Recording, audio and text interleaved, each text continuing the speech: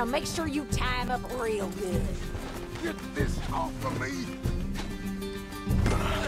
Make these nice and tight. All right.